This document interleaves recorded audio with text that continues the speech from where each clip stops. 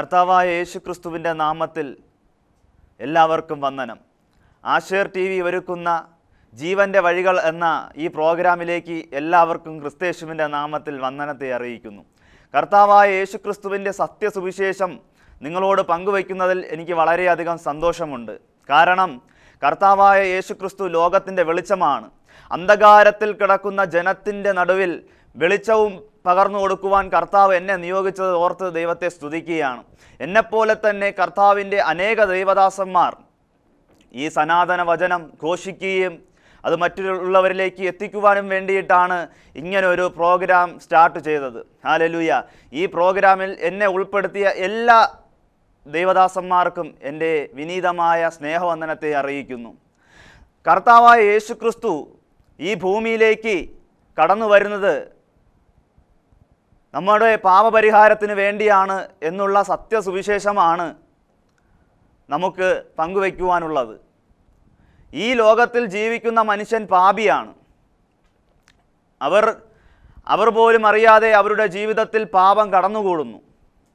എന്ന് വെച്ചാൽ നമ്മുടെ ആദിമ പിതാക്കന്മാർ പാപികളായിരുന്നു. അതുകൊണ്ട് തന്നെ ജന്മനാൽ നമ്മളും പാപിയായി തീർന്നിരുന്നു. പക്ഷേ കർത്താവായ യേശുക്രിസ്തു നമ്മുടെ പാപപരിഹാരത്തിന് വേണ്ടി കാൽവറിയിൽ മരണപ്പെട്ടു. ആ കർത്താവിൽ വിശ്വസിക്കുന്ന നമുക്ക് പാപമോചനമുണ്ട്.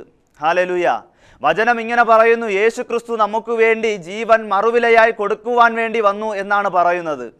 അങ്ങനെയെങ്കിൽ ഞാൻ നിങ്ങളോട് പറയട്ടെ ജീവനെ എടുക്കുന്ന പലരും ഈ ഭൂമിയിൽ ജീവിച്ചിരിക്കുകയാണ്. മറ്റുള്ളവരെ ജീവനെ അപഹരിക്കുന്ന സ്വത്തിനും സമ്പത്തിനും വേണ്ടി മറ്റുള്ളവരെ കൊല്ലുന്ന പലരും ഈ ഭൂമിയിൽ ജീവിച്ചിരിപ്പുണ്ട്. എന്നാൽ ഞാൻ നിങ്ങളോട് പറയട്ടെ നമുക്ക് വേണ്ടി ജീവനെ നൽകുവാൻ വേണ്ടി വന്ന ഒരേ ഒരു ആളേ ഉള്ളൂ അതത്രേ നസ്രായനായ യേശു ക്രിസ്തു ഹാലലൂയ ആ കർത്താവിൽ വിശ്വസിക്കുന്ന നമുക്ക് പാച പാപമോചനമുണ്ട് പാപ പരിഹാരമുണ്ട്. ഹാലലൂയ എത്ര പേർക്ക് വിശ്വസിക്കുവാൻ കഴിയും? എന്റെ പാപത്തിന് വേണ്ടിയാണ് കർത്താവായ യേശു ക്രിസ്തു ഈ താഴ്ന്ന ഭൂമിയിലേക്ക് ഇറങ്ങി വരികയും. ഹാലലൂയ എനിക്ക് വേണ്ടിയാണ് ക്രൂശ് മരണം ഏറ്റുവാങ്ങിയതെന്നും വിശ്വസിക്കുന്നവർ ഹാലലൂയ അവർക്ക് പാപമോചനം ലഭിക്കുവാനിടയായിത്തീരും. അമ്മേ ഞാൻ പറയട്ടെ ഈ യേശു കർത്താവിന് നമ്മുടെ ജീവിതത്തിൽ കടന്നു വരാൻ കഴിയുമ്പോഴാണ് നമ്മുടെ ജീവിതം യഥാർത്ഥത്തിൽ നല്ലൊരു ജീവിതമായി തീരുന്നത് ഈ ലോകത്തിൽ നമുക്ക് പണമുണ്ടെങ്കിലും നമുക്ക് സ്വത്തുക്കളുണ്ടെങ്കിലും മറ്റ് പലവിധമാകുന്ന എല്ലാ കാര്യങ്ങളും ഉണ്ടായിട്ടും ക്രിസ്തു ഇല്ല എങ്കിൽ നമ്മുടെ ജീവിതം വ്യർത്ഥമാണ്. ഹാലലൂയ. ഒരു കാലഘട്ടത്തിൽ എനിക്ക് ക്രിസ്തു ഇല്ലായിരുന്നു. അതുകൊണ്ട് തന്നെ എനിക്ക് പറയാൻ കഴിയും എന്റെ ജീവിതം ഒരു അർത്ഥശൂന്യമായ ജീവിതമായിരുന്നു. എന്നാൽ എനിക്ക് ഇന്ന് പറയുവാൻ കഴിയും എന്റെ കർത്താവായ യേശു ക്രിസ്തുവിനെ എന്ന് ഞാൻ ഹൃദയം കൊണ്ട് അംഗീകരിച്ചു. അന്ന് മുതൽ എന്റെ ജീവിതം അർത്ഥമുള്ള ഹാലലിയ മറ്റുള്ളവർക്ക് ചൂണ്ടിക്കാണിച്ചു കൊടുക്കുവാൻ ഒരു മാതൃകയുള്ള ജീവിതമാക്കി മാറ്റുവാൻ വേണ്ടി കഴിയുവാനിടയായി തീർന്നു. ഹാലലുയ. ഇന്ന് എന്നെ കേൾക്കുന്ന ആരെങ്കിലും കർത്താവായ യേശു ക്രിസ്തുവിനെ സ്വീകരിക്കുവാൻ തയ്യാറുള്ളവർ ഹാലലിയ അതരം കൊണ്ട് ഏറ്റു പറയണം കർത്താവായ യേശു ക്രിസ്തു എനിക്ക് വേണ്ടിയാണ് മരിച്ചത്. എന്റെ പാപപരിഹാരത്തിന് വേണ്ടിയാണ് വർഷങ്ങൾക്ക് മുമ്പ് അദ്ദേഹം ഹാലലിയ കാൽവറിയിൽ മരണപ്പെടുവാനിടയായി തീർന്നതെന്ന്. ആ സമയം നിങ്ങൾക്ക് പാപമോചനം ലഭിക്കുവാനിടയായി തീരും. ഞാൻ പറയട്ടെ ഹാലലിയ വചനം ജഡമായി തീർന്നു. എന്താണ് വചനം? ആദിയിൽ വചനമുണ്ടായിരുന്നു വചനം ദൈവമായിരുന്നു. അങ്ങനെയെങ്കിൽ ഞാൻ പറയട്ടെ വചനം യേശുവാണ്.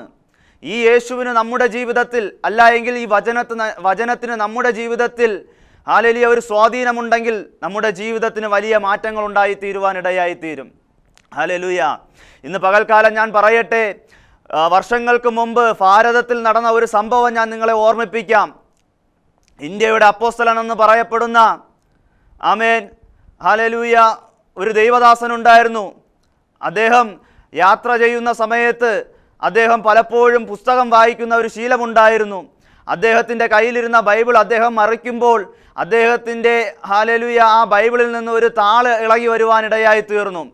ഹാലലുയ അദ്ദേഹത്തിന് വളരെ പ്രയാസം ഉണ്ടായി. അദ്ദേഹം വായിക്കുന്ന ബൈബിൾ അദ്ദേഹം വളരെ ബഹുമാനത്തോടെയാണ് കാണുന്നത്. പക്ഷേ പഴക്കം ചെന്ന ഒരു ബൈബിൾ ആയതുകൊണ്ട് തന്നെ അദ്ദേഹം മറിക്കുന്ന സമയത്ത് അതിന്റെ താളിളകി പോകാനിടയായി തീർന്നു അദ്ദേഹം വളരെ വിഷമത്തോടെ അദ്ദേഹത്തിന്റെ പോക്കറ്റിലേക്ക് ഹാലലൂയ ആ ബൈബിളിന്റെ താൾ മടക്കി വെച്ചിട്ട് അദ്ദേഹം ഒരു ശുശ്രൂഷയ്ക്ക് വേണ്ടി ഒരു ട്രെയിനിൽ യാത്ര ചെയ്യുന്ന സമയത്ത് അദ്ദേഹം ഇരുന്നതിന്റെ തൊട്ടു മുമ്പിലുള്ള ബോഗിയിൽ സീറ്റിൽ ഒരു ചെറുപ്പക്കാരൻ വന്നിരിക്കുന്നത് കാണുവാൻ ഇടയായി തീർന്നു. കുറച്ചു കഴിഞ്ഞപ്പോൾ ഒരു മന്ത്രവാദി ആ ചെറുപ്പക്കാരൻ ഇരുന്നതിന്റെ തൊട്ട് അടുത്തുള്ള ഒരു സീറ്റിലേക്ക് വന്നിരിക്കുവാനും ഇടയായി തീർന്നു. എന്നാൽ ഈ മന്ത്രവാദിയുടെ ഹാലലിയ ആ കയ്യിലിരുന്ന ആ ബാഗ് എടുത്ത് ആ സീറ്റിൽ വെച്ചിരുന്നത് കൊണ്ട് തന്നെ അടുത്ത് വന്ന ഒരു ചെറുപ്പക്കാരൻ ഇരിക്കാൻ സ്ഥലമില്ലാത്തത് കൊണ്ട് ആ ബാഗ് എടുത്ത് തറയിൽ വയ്ക്കുവാൻ ഇടയായി തീർന്നു. ഇത് കണ്ട മന്ത്രവാദി കോപിതനായി ആ ചെറുപ്പക്കാരനെ ചൂണ്ടി മന്ത്രവ മന്ത്രം ഉച്ചരിച്ചപ്പോൾ ആ ചെറുപ്പക്കാരന്റെ മൂക്കിൽ നിന്നും വായിൽ നിന്നും രക്തം വാർന്ന് അദ്ദേഹം തറയിൽ പിടഞ്ഞു വീഴുവാൻ ഇടയായി തീർന്നു. ഇത് കണ്ട ആ ദൈവദാസൻ ഈ മന്ത്രവാദിയോട് ചോദിച്ചു ഹേ മനുഷ്യ എന്തിനാണ് ആ ചെറുപ്പക്കാരനെ നിങ്ങൾ ഇങ്ങനെ ദ്രോഹിക്കുന്നത്? എന്തുകൊണ്ടാണ് താങ്കൾ ഇങ്ങനെ കാണിച്ചത്? അപ്പോൾ ഈ മന്ത്രവാദി ഈ ദൈവദാസനോട് പറയുകയാണ് നിനക്കറിയാമോ ഞാൻ ദൈവത്തെ പോലെ കാണുന്ന മന്ത്രങ്ങളാണ് എന്റെ ഈ ബാഗിനകത്തുള്ളത്. അത് നിലത്ത് വയ്ക്കുവാനുള്ളതല്ല. എന്ന് പറയുവാനിടയായി തീർന്നു. ഹാലലൂയ. അപ്പോൾ ഈ ദൈവദാസനോട് മന്ത്രവാദി പറയുകയാണ് നീ എന്തിനാണ് എന്നോട് സംസാരിക്കുന്നത്? നീ വായും വെച്ച് മിണ്ടാതെ ഇരുന്നില്ലെങ്കിൽ ഞാൻ ഇവനെ കാണിച്ചതുപോലെ നിന്റെ ജീവിതത്തിലും ഞാൻ അത് ചെയ്യുമെന്ന് പറയുവാനിടയായി തീർന്നു. ഈ ദൈവദാസൻ പറഞ്ഞു നിന്റെ ശക്തിക്ക് എന്നെ കീഴ്പ്പെടുത്തുവാൻ കഴിയുമെങ്കിൽ നിന്റെ ശക്തിയോട് പറ എന്നെ കീഴ്പ്പെടുത്തുവാൻ. ആമേൻ. ഈ മന്ത്രവാദി അദ്ദേഹത്തിന്റെ ബാഗിലിരുന്ന താളിയോലകളെല്ലാം എടുത്ത് നിവർത്തി അദ്ദേഹത്തിന്റെ മന്ത്രങ്ങളെല്ലാം ഉച്ചരിക്കുവാൻ തുടങ്ങി. ഹാലലുയ. നേരെ ഏറെ കഴിഞ്ഞിട്ടും നേരമേറെ കഴിഞ്ഞിട്ടും ഈ മന്ത്രവാദിക്ക് അദ്ദേഹം ആ ദൈവദാസനെ ഹാലലുയ ഒന്നും ചെയ്യുവാൻ കഴിഞ്ഞില്ല. ഹാലലുയ. എന്നിട്ട് ഈ മന്ത്രവാദി ആ ദൈവദാസനോട് പറയുകയാണ് ഏ മനുഷ്യ നിന്നെ എനിക്ക് ഒന്നും ചെയ്യുവാൻ കഴിയുന്നില്ല. കഴിഞ്ഞ നാളുകളിൽ ഞാൻ ഈ മന്ത്രത്താളുകൾ കൊണ്ടാണ് ഞാൻ പലരെയും പരാജയപ്പെടുത്തിയത്. പലരെയും ഞാൻ അപഹരിച്ചിട്ടുണ്ട്. പലരുടെയും ജീവനെ ഞാൻ നഷ്ടപ്പെടുത്തിയിട്ടുണ്ട്. പക്ഷേ നിന്നെ എനിക്ക് ഒന്നും ചെയ്യുവാൻ കഴിയുന്നില്ല. എന്താ ഇതിന്റെ രഹസ്യം? അങ്ങനെ ഈ മന്ത്രവാദി ഇങ്ങനെ മന്ത്രം ഉരുവിടുന്ന സമയത്ത് ആ ഈ ദൈവദാസനോട് പറയുവാനിടയായി തീർന്നു. നിന്റെ പോക്കറ്റിനകത്തോ എന്തോ ഇരിക്കുന്നുണ്ട്. അതിൽ നിന്ന് ശക്തി വ്യാപരിക്കുന്നു. എന്റെ ശക്തിക്ക് ആ ശക്തിയെ കീഴ്പ്പെടുത്തുവാൻ കഴിയുന്നില്ല എന്ന് പറഞ്ഞു. അപ്പോൾ ഈ ദൈവദാസൻ എന്താണ് എന്റെ പോക്കറ്റിൽ ഇരിക്കുന്നതെന്ന് അറിയുവാൻ വേണ്ടി അദ്ദേഹം അദ്ദേഹത്തിന്റെ ഉടുപ്പിന്റെ പോക്കറ്റിലേക്ക് കൈയിട്ട് നോക്കിയപ്പോൾ അദ്ദേഹത്തിന് കാണുവാൻ കഴിഞ്ഞത് ഇതാണ്. രാവിലെ അദ്ദേഹം മീറ്റിങ്ങിന് പോകുന്നതിന് മുന്നേ ശുശ്രൂഷയ്ക്ക് പോകുന്നതിന് മുന്നേ വായിക്കുവാൻ വേണ്ടി തിടുക്കത്തിൽ താളുകൾ മറിച്ചപ്പോൾ ഇളകി വന്ന ഒരു വചനത്തിന്റെ പേപ്പർ അദ്ദേഹം മടക്കിയെടുത്ത് പോക്കറ്റിൽ വെക്കുവാനിടയായി തീർന്നു. അങ്ങനെയെങ്കിൽ ഞാൻ പറയട്ടെ ഒരു വേദപുസ്തകത്തിന്റെ പേപ്പറിന് ഇത്രയും ശക്തി ഉണ്ടെങ്കിൽ ഞാൻ പറയട്ടെ നിങ്ങൾ വിശ്വസിക്കുന്ന വചനത്തിന് ഹാലലിയ ഈ ലോകത്തിലുള്ള സകല ശക്തികളെക്കാളും ശക്തിയുണ്ട്. ഹാലലിയ ഏത് മന്ത്രവാദത്തെക്കാളും ശക്തിയുണ്ട്. നിങ്ങളിപ്പോൾ ഏത് പ്രതിസന്ധിയിലായിരുന്നാലും ഹാലലിയ ദൈവത്തിന്റെ വചനം അയച്ച് നിങ്ങളെ സൗഖ്യമാക്കുവാൻ ദൈവത്തിന്റെ വചനത്തിന് കഴിയും. ഹാലലൂയ എത്ര പേർ വിശ്വസിക്കുന്നുണ്ട്. ഞാൻ സേവിക്കുന്ന നമ്മൾ സേവിക്കുന്ന ദൈവവചനത്തിന് ശക്തിയുണ്ട് ദൈവമക്കളെ. അതുകൊണ്ട് ഒരു മന്ത്രവാദത്തിനോ ഒരു ദുർഭൂത ശക്തികൾക്കോ നമ്മളെ കീഴ്പ്പെടുത്തുവാൻ കഴിയത്തില്ല. ആമേൻ. ഞാൻ നിങ്ങളെ തുടക്കത്തിൽ തന്നെ പറഞ്ഞല്ലോ ദൈവവചനം എന്ന് പറയുന്നത് സാക്ഷാൽ ക്രിസ്തുവാണ്. ഈ ക്രിസ്തുവിന് നമ്മുടെ ജീവിതത്തിൽ സ്വാധീനമുണ്ടെങ്കിൽ നമ്മുടെ ജീവിതത്തിൽ വളരെയധികം മാറ്റങ്ങൾ ഉണ്ടാകുവാൻ ഇടയായിത്തീരും അങ്ങനെ ക്രിസ്തുവുമായിട്ടുള്ള ബന്ധത്തിൽ ജീവിതങ്ങൾക്ക് മാറ്റം വന്ന ചിലരെ നിങ്ങളുടെ മുമ്പിൽ പരിചയപ്പെടുത്തുവാൻ ഞാൻ കർത്താവിന്റെ നാമത്തിൽ ശരണപ്പെടുകയാണ്. യോഹന്നാന്റെ സുവിശേഷം വായിക്കുമ്പോൾ അല്ല മറ്റു സുവിശേഷങ്ങൾ വായിക്കുമ്പോൾ യേശുവുമായി ബന്ധമുള്ളവരുടെ ജീവിതങ്ങൾക്ക് മാറ്റമുണ്ടായതായി നമുക്ക് കാണുവാൻ കഴിയും. അങ്ങനെ ചിലരുടെ ജീവിതത്തെ ചൂണ്ടിക്കാണിച്ച് എന്റെ സന്ദേശത്തിന് കുത്തിടുവാൻ വേണ്ടി ഞാൻ ആഗ്രഹിക്കുകയാണ്. നമ്മുടെ യോഹന്നാൻ സുവിശേഷം പതിനൊന്നാം അധ്യായം വായിക്കുമ്പോൾ നമുക്ക് ഒരു സംഭവത്തെ അവിടെ കാണുവാൻ കഴിയും. യേശുവുമായി നല്ല അടുപ്പമുള്ള ഒരു കുടുംബം. ആമേൻ. യേശുവുമായി നല്ല അടുപ്പമുള്ള ഒരു കുടുംബത്തിൽ ഒരു പ്രതിസന്ധി കടന്നു വന്നപ്പോൾ ഹാലലൂയ യേശുവിന് വളരെയധികം വിഷമമുണ്ടായി. ഞാൻ നിങ്ങളോട് ചോദിക്കട്ടെ നിങ്ങൾക്ക് യേശുവുമായി നല്ലൊരു ബന്ധം സ്ഥാപിക്കുവാൻ കഴിഞ്ഞിട്ടുണ്ടോ? അല്ല നിങ്ങൾക്ക് യേശുവുമായിട്ട് നല്ലൊരു ബന്ധമുണ്ടോ? ഞാൻ നിങ്ങളോട് പറയട്ടെ നിങ്ങൾക്ക് യേശുവുമായി നല്ലൊരു ബന്ധമുണ്ടെങ്കിൽ നിങ്ങളുടെ പ്രതിസന്ധി യേശുവിന്റെ പ്രതിസന്ധിയാണ്. നിങ്ങളുടെ വിഷമം യേശുവിന്റെ വിഷമമായി മാറും. ഹാലലൂയ. ഇന്ന് എന്നെ കേൾക്കുന്ന ഏതെങ്കിലും പ്രതിസന്ധിയുടെ നടുവിലൂടെ യാത്ര ചെയ്യുന്ന കണ്ണീർ കയത്തിലായിരിക്കുന്ന പ്രിയപ്പെട്ടവരോട് ഞാൻ പറയാം നിങ്ങൾ യേശുവിന് പ്രിയപ്പെട്ടവരാണെങ്കിൽ നിങ്ങളുടെ പ്രതിസന്ധിക്ക് നിങ്ങളുടെ കണ്ണുനീരിന് അറുതി വരാൻ പോകുന്നു. ആമേൻ. എത്ര പേർക്ക് വിശ്വസിക്കുവാൻ കഴിയും? ഹാലേലിയ. ഒരു കാലഘട്ടത്തിൽ ഞാൻ ഒരുപാട് കരഞ്ഞതാണ്. ഞാൻ ഒരുപാട് പ്രതിസന്ധിയുടെ നടുവിലൂടെ പോയതാണ്. പക്ഷേ ഞാൻ യേശുവിന് പ്രിയപ്പെട്ടവനായി മാറിയപ്പോൾ എന്റെ ജീവിതത്തിൽ നിന്ന് ഹാലേലിയ എന്റെ കണ്ണുനീരിനെ ദൈവം എടുത്തു മാറ്റി.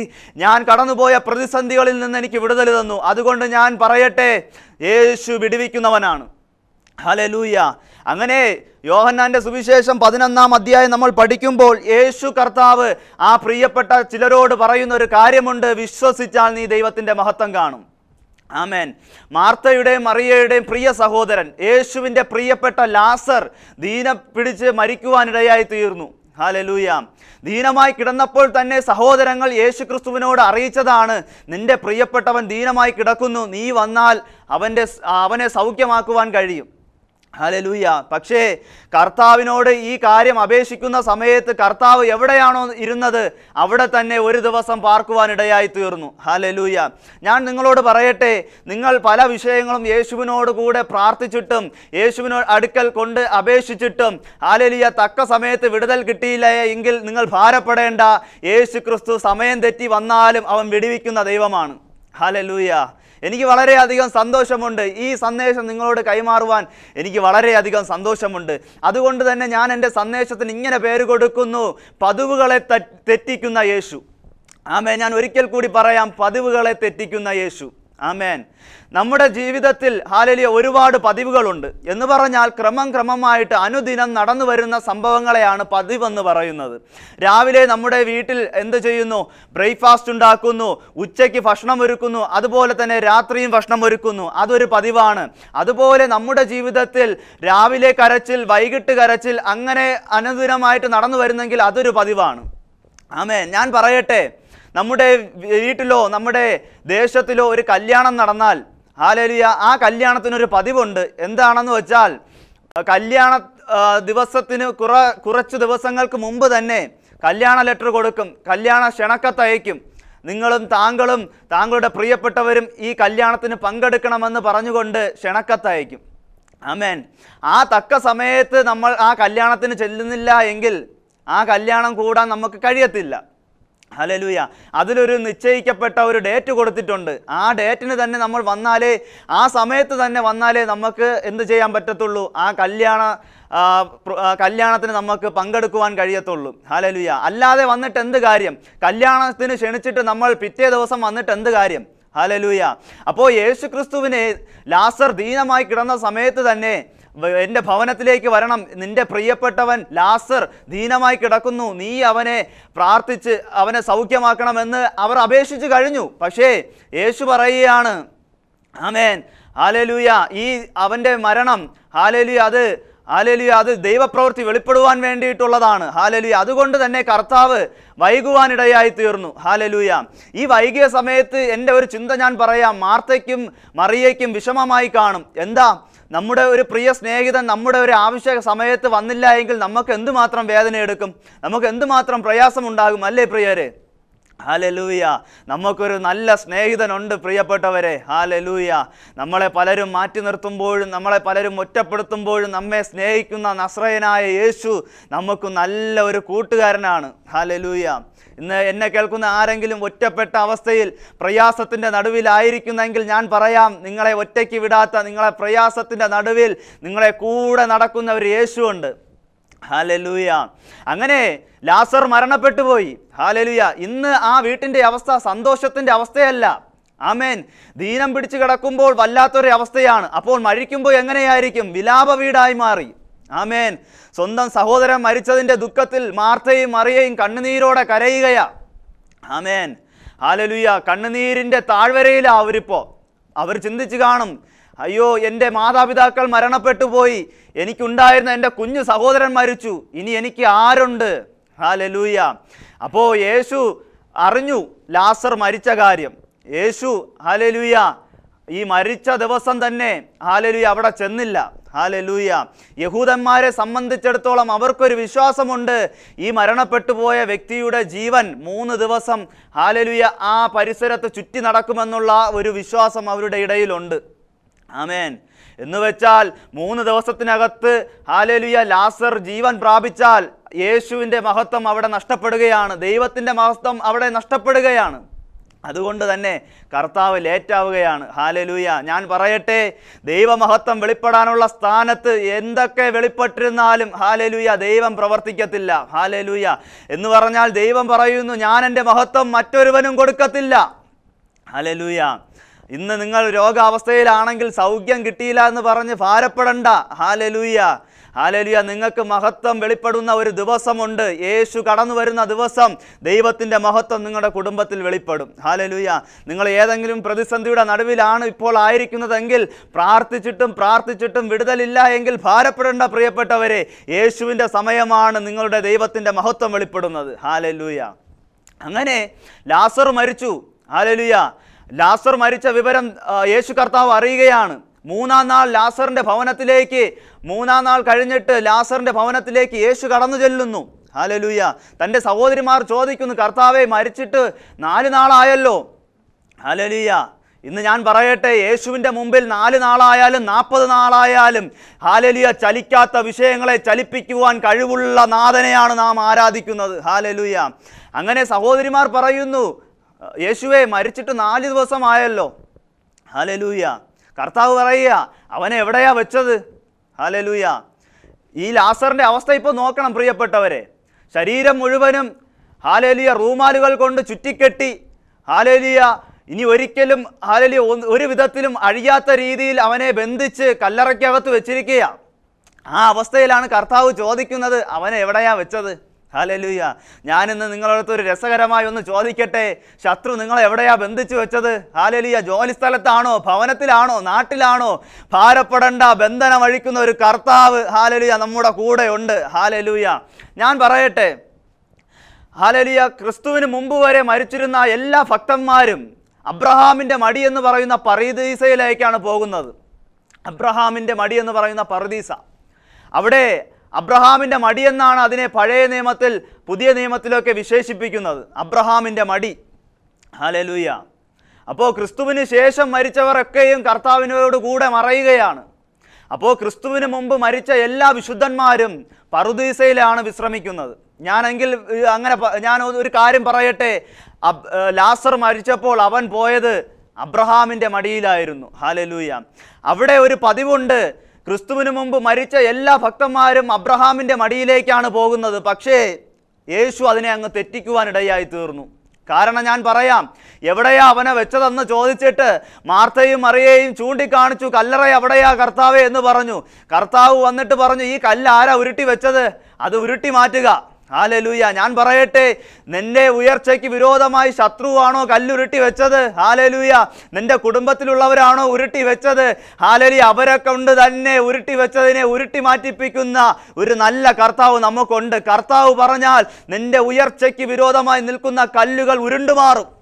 വിശ്വസിക്കുക പ്രിയപ്പെട്ടവരെ. നിന്റെ ഉയർച്ചയ്ക്ക് വിരോധമായി നിൽക്കുന്ന എല്ലാ കല്ലുകളും കർത്താവ് കൽപ്പിച്ചാൽ ഉരുണ്ടുമാറും. ഹലലൂയ അങ്ങനെ ആ കല്ലറയുടെ മുമ്പിൽ വന്നിട്ട് കർത്താവ് പറയുന്നു ലാസറെ പുറത്തു വരിക. ഹാലലൂയ ഇതുവരെയും ഉലകം കാണാത്ത ഒരു പതിവ് തെറ്റിക്കല യേശുവിന്റെ ഒരൊറ്റ വാക്കിൽ അവിടെ വെളിപ്പെട്ടത്. അബ്രഹാമിന്റെ മടിത്തട്ടിൽ പോയ ഒരു വ്യക്തിയും തിരികെ വന്നിട്ടില്ല. ഹാലലൂയ. എന്നാൽ ലാസറെ പുറത്തു വരിക എന്ന ശബ്ദം കേട്ടപ്പോൾ ഹാലലൂയ അബ്രഹാമിന്റെ മടിയിൽ വിശ്രമിക്കാൻ ചെന്ന ലാസർ വരെ ഹാലലിയ തിരികെ വന്നെങ്കിൽ ഞാൻ പറയട്ടെ നിന്റെ ജീവിതത്തിൽ ദൈവത്തിന്റെ ശബ്ദമുണ്ടായാൽ നാളിതുവരെ നിന്നെ ഹാലേലുയ പതിവ് തെറ്റാതെ നിന്നെ ഹാലലിയ അലട്ടുന്ന എല്ലാ വിഷയങ്ങളിൽ നിന്നും പതിവ് തെറ്റിച്ചുകൊണ്ട് ഒരു ദൈവിക വിടുതൽ നിന്റെ കുടുംബത്തിൽ കർത്താവ് ചെയ്യും. ഹാലലൂയ. അതിനുവേണ്ടി നീ കാതോ കാതോർത്തിരിക്കുക. നിന്റെ കുടുംബത്തിനകത്ത് യേശുവിന്റെ ശബ്ദം മുഴങ്ങിയാൽ ഹാലലൂയ ഒരു വിടുതൽ സംഭവിക്കും. ഹാലലൂയ. അപ്പോൾ ഞാൻ പറയട്ടെ അങ്ങനെ മരിച്ചു നാല് നാളായ ലാസറിന്റെ കല്ലറയുടെ മുമ്പിൽ ദൈവത്തിന്റെ ശബ്ദം മുഴങ്ങിയപ്പോൾ പതിവുകൾ തെറ്റി. ഹാലലൂയ. ഇന്ന് നിങ്ങളോട് ഞാൻ പറയട്ടെ ഇന്ന് നിങ്ങളുടെ ഭവനത്തിനകത്ത് ഹാലലിയ ഈ ദൈവശബ്ദം കേൾക്കുമ്പോൾ തന്നെ ചില പതിവുകൾ തെറ്റാൻ പോവുകയാ. പതിവ് പതിവായി നിന്റെ വീട്ടിൽ ഹാലലിയ രോഗക്കെടുതിയ. ഹാലലൂയ പ്രശ്നങ്ങളുടെ ഊരമാലയ. പക്ഷേ ഇന്ന് ഈ ദൈവശബ്ദം മുഴങ്ങുമ്പോൾ ഹാലലിയ പതിവ് തെറ്റിച്ചുകൊണ്ട് നിന്റെ കുടുംബത്തിനകത്ത് ഒരു ദൈവിക സമാധാനം ദൈവം കൈമാറുകയാ. ഹാലലുയ വിശ്വസിക്കുക. യോഹന്നാന്റെ സുവിശേഷം അഞ്ചാം അധ്യായം പഠിക്കുമ്പോൾ തന്നെ നമുക്ക് അവിടെ കാണുവാൻ കഴിയും. മുപ്പത്തിയെട്ട് വർഷം ദീനം പിടിച്ചു കിടക്കുന്ന ഒരു പക്ഷപാതക്കാരനെ കാണുവാൻ കഴിയും. എന്റെ ഒരു പഠനം വെച്ച് എനിക്ക് മനസ്സിലായത് കർത്താവായ യേശു ക്രിസ്തു ജനിക്കുന്നതിന് മുന്നവേ ഇദ്ദേഹം ദീനക്കാരനാണ്. പക്ഷപാതമാ ഒരു സൈഡ് മുഴുവനും തളർന്നുപോയി. അന്ന് ദൈവം ഹാലലുയ ഈ രോഗികൾക്ക് വിടുതൽ ലഭിക്കുവാൻ വേണ്ടി ഒരു മാർഗം കണ്ടെത്തി. ബദേസ്ത കുളത്തിൽ അതത് സമയം ദൂതനിറങ്ങി കുളം കലക്കും. ആദ്യം ഇറങ്ങുന്നവന് രോഗസൗഖ്യം. ഹാലലൂയ. യവൻ പലപ്പോഴും രോഗസൗഖ്യത്തിന് വേണ്ടി കൊതി കൊതിച്ച് ആ കുളത്തിന്റെ കരയിലേക്ക് ഇഴഞ്ഞു നീങ്ങിയതാ. പക്ഷേ യവന് മുമ്പ് ആരൊക്കെയോ വന്ന് വിടുതൽ പ്രാപിച്ചു പോയി. അങ്ങനെ കഴിഞ്ഞ മുപ്പത്തിയെട്ട് വർഷം ഒരു വിടുതലിന് വേണ്ടി ആശിച്ച് ആഗ്രഹിച്ച് പ്രത്യാശയോടെ അവൻ നടന്നു നീങ്ങുമ്പോഴൊക്കെയും അവന് മുമ്പേ ആരൊക്കെയോ വന്ന് ചാടി രക്ഷപ്പെടുകയാ. വിടുതൽ പ്രാപിച്ച് മടങ്ങിപ്പോകുന്നു. പക്ഷേ ഹാലലുയ കർത്താവായ യേശു ക്രിസ്തു സ്വർഗത്തിലിരുന്ന് കണ്ടു കാണും ഹാലലുയ ഒരു വ്യക്തിയുടെ വ്യത ഒരു വ്യക്തിയുടെ പ്രതിസന്ധി ഒരു വ്യക്തിയുടെ ഹാലലിയ ദീനം സ്വർഗത്തിലിരുന്ന് ദൈവം കണ്ടു കാണും. ഹാലലിയ. കാലസമ്പൂർണതയിൽ ജഡം അവതാരമെടുത്ത് ക്രിസ്തു ഈ ഭൂമിയിലേക്ക് വന്നപ്പോൾ കർത്താവ് അവനോട് ചോദിച്ചു നിനക്ക് സൗഖ്യമാകാൻ മനസ്സുണ്ടോ? ഹാലലുയ. ഇവിടെ നടന്നു വരുന്ന പതിവെന്താ അതത് സമയം ദൂതനിറങ്ങി കുളം കലക്കും. അപ്പോൾ ആദ്യം ആരാണോ ഇറങ്ങുന്നത് അവർക്കാണ് സൗഖ്യം കിട്ടുക. കഴിഞ്ഞ മുപ്പത്തിയെട്ട് വർഷം കൊണ്ട് ഇദ്ദേഹം നടന്നു നീങ്ങുന്നു പക്ഷേ സൗഖ്യമാകുന്നില്ല. എന്ത് ചെയ്യാനാ? ഇദ്ദേഹത്തിന്റെ കുഴപ്പമല്ല. അദ്ദേഹത്തിന് സൗഖ്യമാകുവാൻ മനസ്സുണ്ട്. അതുകൊണ്ടല്ലേ പലപ്പോഴും ശ്രമിച്ചത്. ശ്രമിച്ച് ശ്രമിച്ച് അദ്ദേഹത്തിന് തന്നെ മനസ്സിലായി ഇനി എനിക്ക് ഒരിക്കലും സൗഖ്യമില്ല. അങ്ങനെ ഇരിക്കുന്ന ഒരു അവസരത്തിലാണ് കർത്താവ് വന്നിട്ട് ചോദിക്കുകയാണ് നിനക്ക് സൗഖ്യമാകാൻ മനസ്സുണ്ടോ? ഇന്ന് എന്നെ കേൾക്കുന്ന ചിലരോട് പരിശുദ്ധയാത്മാവ് ചോദിക്കുന്നു നിങ്ങളിപ്പോൾ രോഗത്തിന്റെ അവസ്ഥയിലാണ് പല വൈദ്യന്മാരെയും കണ്ടു ഗുളികകളൊക്കെ കഴിച്ചു മരുന്ന് ദിനം പ്രതി കഴിക്കുന്നുണ്ട്. ഒരുപാട് കാശ് അങ്ങനെ ചിലവായി പക്ഷേ സൗഖ്യമില്ല. കർത്താവ് ചോദിക്കുന്നു നിനക്കിന്ന് സൗഖ്യമാകാൻ മനസ്സുണ്ടോ? നിന്റെ കുടുംബത്തിനകത്തെ ആ ഗുളിക വാങ്ങിക്കുന്ന പതിവ് കർത്താവ് ഇന്ന് നിർത്തുവാൻ ആഗ്രഹിക്കുക. വിശ്വസിക്കുന്നവരുണ്ടെങ്കിൽ ഈ ദൂത് ഏറ്റെടുക്കുക. നിന്നെ നിന്നെ ഇന്ന് സൗഖ്യത്തോടെ അയക്കുവാൻ ദൈവത്തിന് പദ്ധതിയുണ്ട്. ഹാലലൂയ അങ്ങനെ അവൻ പറഞ്ഞു എനിക്ക് മനസ്സുണ്ട് കർത്താവേ. എനിക്ക് മനസ്സുണ്ട്. ഹാലലൂയ മനസ്സുള്ളവരെ കർ കർത്താവ് ഇന്ന് സൗഖ്യമാക്കുക. ഹാലലൂയ. എന്നും ഇങ്ങനെ ദീനം പിടിച്ച് എന്നും വല്ലാത്ത അവസ്ഥയിൽ ജീവിക്കാനല്ല കർത്താവ് ആഗ്രഹിക്കുന്നത്. നല്ല സൗഖ്യമുള്ളവനായി നല്ല ആരോഗ്യമുള്ളവനായി കർത്താവിന് വേണ്ടി പോരാടുവാൻ ദൈവം ആഗ്രഹിക്കുക പ്രിയപ്പെട്ടവരെ. അതുകൊണ്ട് ദൈവം ചോദിക്കുന്നു നിനക്ക് സൗഖ്യമാകുവാൻ ആഗ്രഹമുണ്ടോ? ഹലലുയ മനസ്സുണ്ടോ? ഹലലുയ. അങ്ങനെയുള്ളവരെ കർത്താവ് സൗഖ്യമാക്കുന്നു. ശമരഘടകസിയാണ്. യേശുവിന്റെ നാമത്തിൽ. അങ്ങനെ കർത്താവ് പറയുന്നത് നീ കിടക്കെടുത്ത് നടക്കുക ഹാലലുയ. എന്നെ ഏറെ രസിപ്പിച്ച ഒരു വാക്ക കിടക്കയെടുത്ത് നടക്കുക. എന്താ ഈ കിടക്കയുടെ പ്രത്യേകത?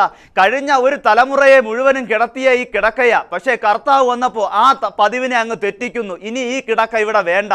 എന്താ കർത്താവെ കിടക്ക എടുത്തുകൊണ്ട് നടക്കാൻ പറഞ്ഞത്?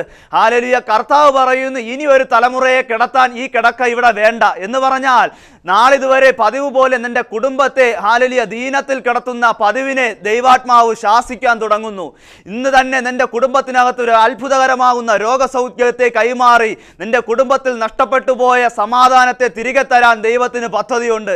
ഈ ദൂതിന്റെ മുമ്പിൽ പ്രതികരിക്കുന്നവരുടെ കുടുംബത്തിൽ വ്യക്തി ജീവിതങ്ങളിൽ വലിയ വിടുതകൾ വിടുതലുകൾ ദൈവം കൈമാറാൻ പോവുകയാണ്. ഹാലലൂയ എത്ര പേർക്ക് പ്രത്യാശയുണ്ട്? ഞാൻ പറയട്ടെ നമുക്ക് രോഗസൗഖ്യവും നമുക്ക് സാമ്പത്തിക വിടുതലെല്ലാം കർത്താവ് തരും. പക്ഷേ ഹാലലൂയ അതിലുപരിയായി നമുക്ക് പ്രത്യാശ ഉണ്ടാകണം. ഹാലലൂയ. കർത്താവായ യേശു ക്രിസ്തു വേഗം വരാൻ പോവുകയാണ് പ്രിയപ്പെട്ടവരെ.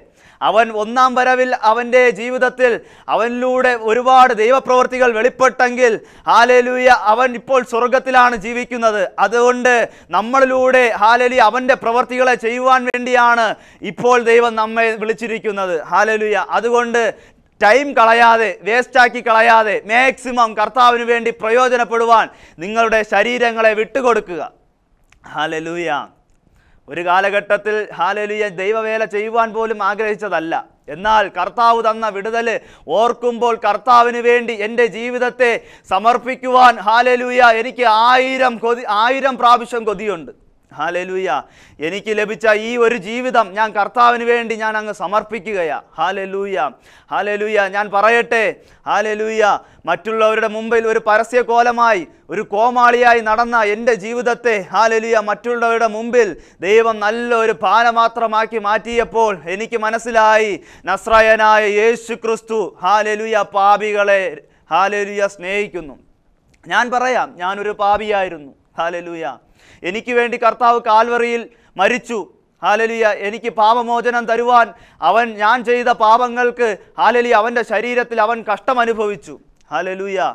ഞാൻ ഇത് വിശ്വസിച്ചപ്പോൾ കർത്താവ് എന്നെ ഹാലലൂയ രക്ഷിക്കുവാനിടയായി തീർന്നു എന്റെ പാപത്തെ മോചിപ്പിച്ചു തരുവാനിടയായി തീർന്നു പ്രിയപ്പെട്ടവരെ കർത്താവ് നിങ്ങളെ സ്നേഹിക്കുന്നു. എന്നെ കേൾക്കുന്ന ആരെങ്കിലും രക്ഷയുടെ അനുഭവത്തിലേക്ക് കടന്നു വരുവാൻ ആഗ്രഹിക്കുന്നു എങ്കിൽ ഹാലലിയ എത്രയും വേഗം കർത്താവായ യേശു ക്രിസ്തുവിനെ സ്വീകരിക്കുക. കാരണം നമ്മുടെ ആത്മമണവാളൻ വരാൻ സമയമായി. ഹാലലൂയ. ഇത്ര നേരം എന്നെ ശ്രവിച്ച എല്ലാവർക്കും ഹാലലിയ യേശു ധാരാളമായി അനുഗ്രഹിക്കട്ടെ എന്ന് പ്രാർത്ഥിച്ചുകൊണ്ട് എന്റെ വാക്കുകൾക്ക് വിരാമം.